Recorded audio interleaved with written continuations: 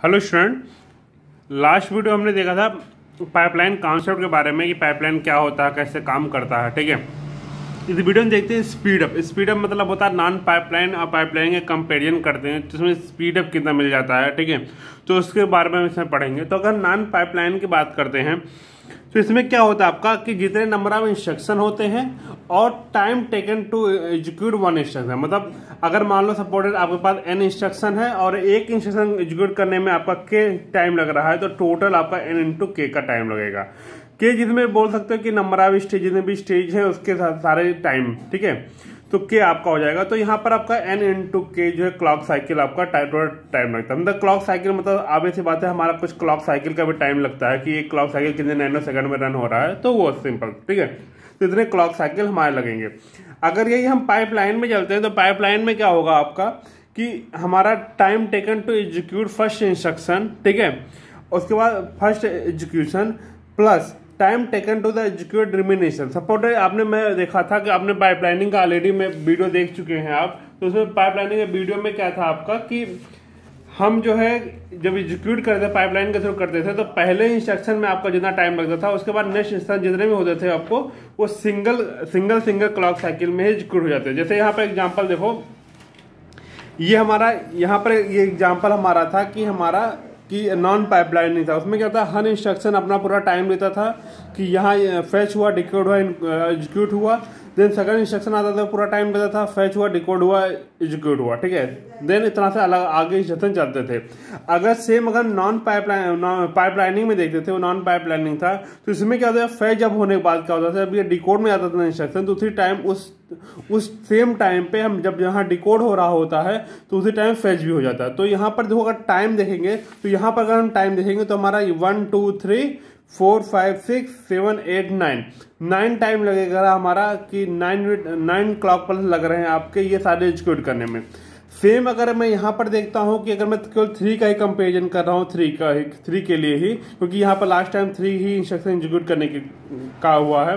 अगर यहाँ थ्री में देखते हो तो हमारा क्या हुआ? फ़र्स्ट में वन टू थ्री उसके बाद क्या हुआ? रिमेन फोर और फाइव मतलब फाइव फाइव क्लॉक साइकिल में आपका जो है आपका, ये तीनों इंस्ट्रक्शन रन हो जाता है। तो यहाँ पर आपका आगे से बात है बहुत सारा डिफरेंस है। यहाँ पर नाइन क्लॉक साइकिल है, यहाँ पर फाइव क्लॉक साइकिल है।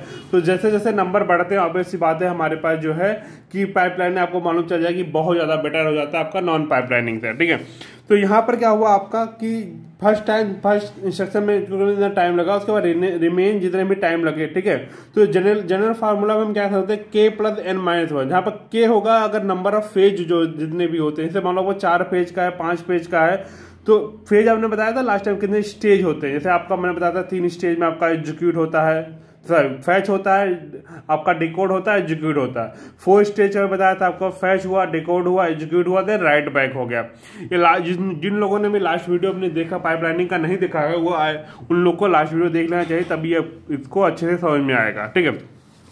अब स्पीडअप की बात करते हैं तो स्पीडअप का मतलब क्या होता है कि नॉन पाइपलाइन एग्जीक्यूट करने में जितना टाइम लगा डिवाइड बाय पाइपलाइन एग्जीक्यूट करने में जितना टाइम लगा। मतलब दोनों को डिवाइड कर दो तो यही आपका जो होता है, वो स्पीडअप होता है। ठीक है? कितना स्पीडअप हुआ तो ये हो जाता है। एक क्वेश्चन सॉल्व करते हैं, आपको ज़्यादा अच्छे से क्लियर हो जाएगा। क्वेश्चन क्या हमारा पास है? Consider pipeline having four phase with duration मतलब चार फ़ेज़ का इन्होंने दे रखा है कि चार फ़ेज़ आपका जो है यहाँ इंस्ट्रक्शन आपको चार फ़ेज़ का इंस्ट्रक्शन होगा आपका एग्जीक्यूट करने के लिए।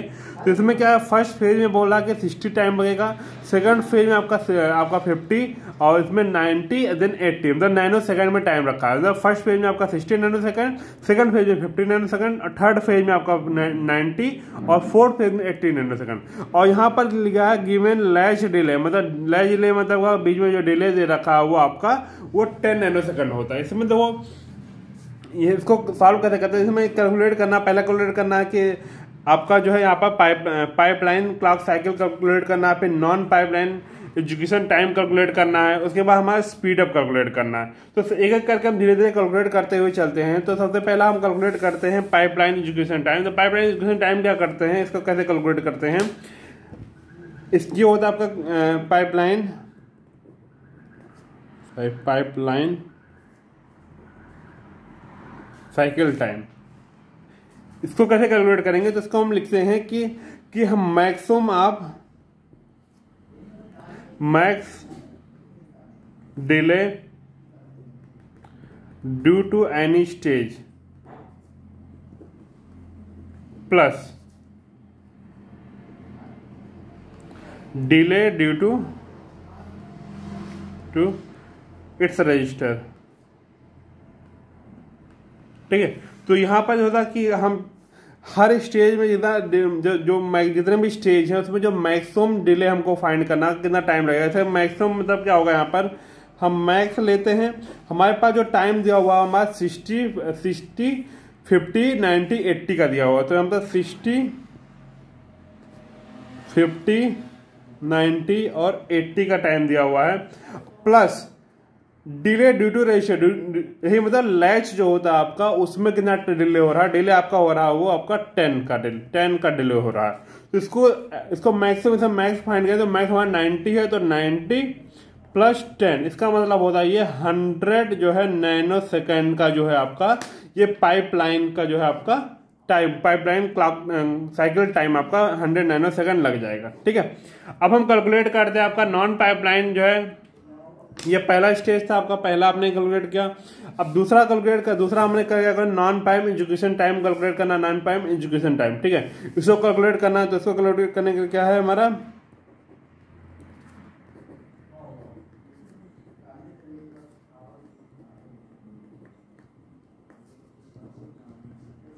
इसको कैलकुलेट करने के लिए क्या होता है कि हमको सिंपली जितने भी हर हर फ़ेज़ में जितने टाइम लग रहे हैं, सबको ऐड कर दो। तो यहाँ पर क्या करेंगे हम? सिंपल है। Sixty nano second plus fifty nano second plus ninety nano second plus eighty nano second सबको ऐड कर देंगे तो जो हमको वैल्यू मिल जाएगी, वही हमारा जो है पाइपलाइन एजुकेशन टाइम मिल जाएगा। तो हमारा टू एट्टी नैनो सेकेंड का टाइम, टोटल टाइम हमारा यहाँ पर लगेगा आपका पाइपलाइन नैनो सेकेंड का। अब हमारा लास्ट आता है कि स्पीड अप मैट्रिक्स। ठीक है, स्पीड अप। थर्ड हमारा आता है speed up.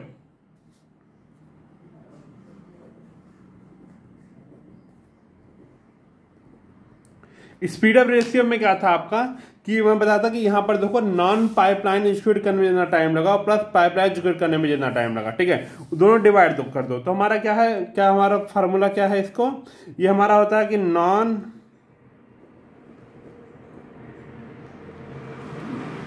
pipeline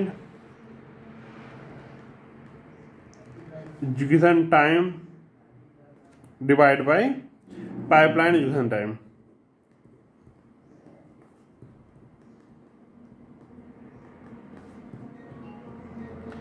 तो यहाँ पर देखो नॉन पाइप लाइन में हमको पाइप लाइन में हमारा हंड्रेड लगा था नॉन पाइप लाइन में टू एट्टी लगा था। सिंपल सी बात है two eighty divide by hundred ठीक है, ये नैनो सेकंड में है, ये भी नैनो सेकंड में। तो हमारा जो आउटपुट आ रहा है, वो हमारा आ रहा है टू पॉइंट एट आ रहा। तो यही हमारा क्या हो जाएगा, ये हमारा स्पीड अप रेशियो हो जाएगा टू पॉइंट एट ठीक है? तो हमारा ये थर्ड थर्ड हो गया। अब हम फोर्थ हमारा क्या है, हमारा कैलकुलेट करना है pipeline time for hundred task मतलब एक एक हज़ार टास्क हमारे पास दिए हुए हैं मतलब एक हज़ार इंस्ट्रक्शन दिए हुए हैं तो उसमें कितना टाइम लगेगा? तो हमारा कैलकुलेट कर लेते हैं। फोर फोर क्या है? ठीक है।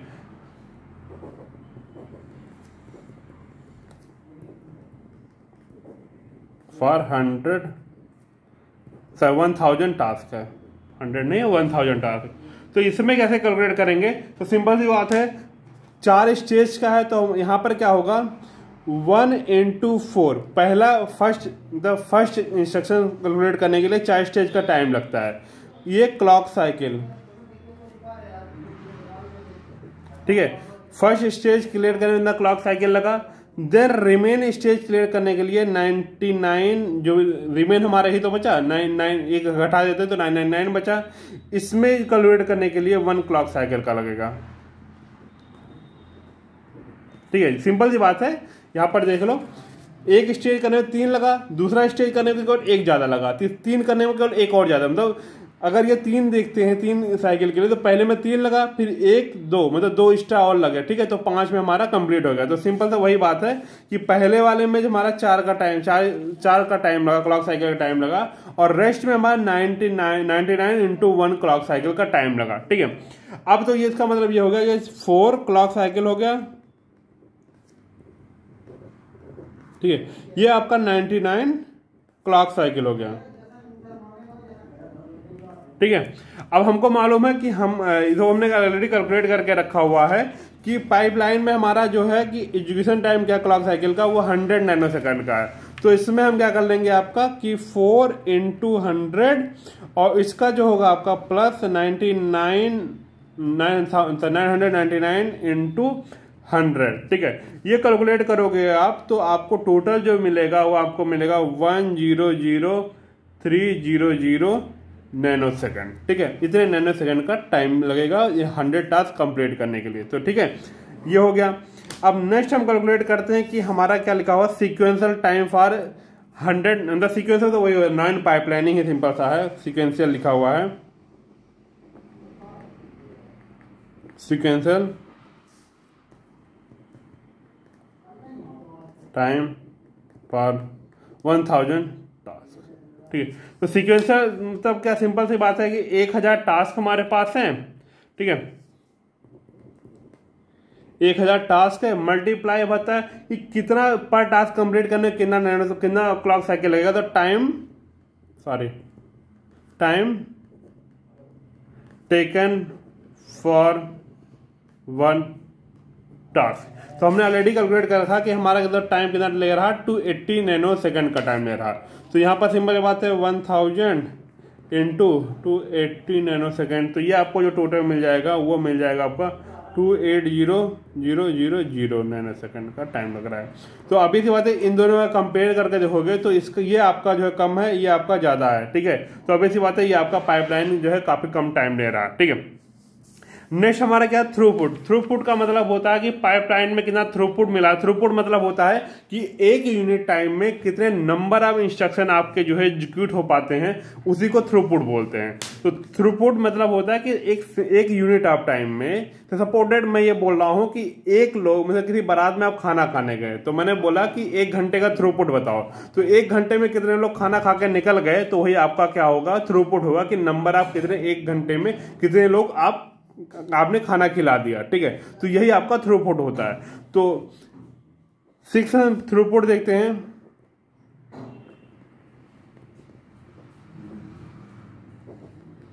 थ्रूपुट ठीक है? थ्रूपुट क्या होगा आपका? कि नंबर आप number of instruction executed per unit time ठीक है? एक एक यूनिट टाइम में कितने हमारा इंस्ट्रक्शन यूज़ हुए? तो हमारे पास इंस्ट्रक्शन कितने थे हमारे पास? वन थाउज़ेंड इंस्ट्रक्शन थे। और जो है हमको जो है वन थाउज़ेंड कैलकुलेट करने में टोटल टाइम कितना लगा था? टोटल टाइम हमको लगा है पाइप लाइन में हमारा one one zero zero, three zero zero. ठीक है, इतना हमको लगा था। अब इसको आप कैलकुलेट कर लेना, यही जो वैल्यू आएगी, वही आपका क्या हो जाएगा? ये थ्रूपुट हो जाएगा। तो ये हमारा थ्रूपुट यहाँ पे यही हो जाएगा। ठीक है?